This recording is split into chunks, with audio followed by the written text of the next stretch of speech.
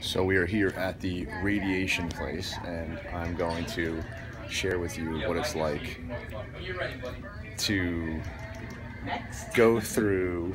next is right. Go through radiation. So uh, here's our little. This is our aquarium that we have. There's lots of cool fish here, and uh, yeah. So let's go in and take a look.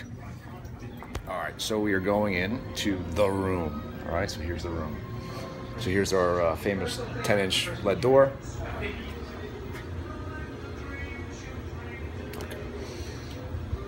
And here is our room. There's my bed. There's my contraption.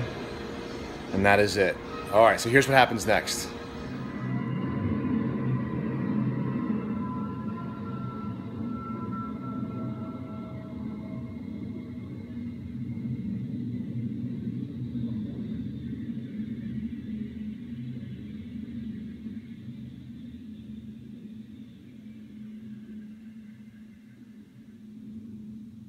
Well, that's that. Hopefully, uh, I offered a little bit of comic relief. That's the only way I know how to deal with this is through, uh, you know, humor and, uh, and humility.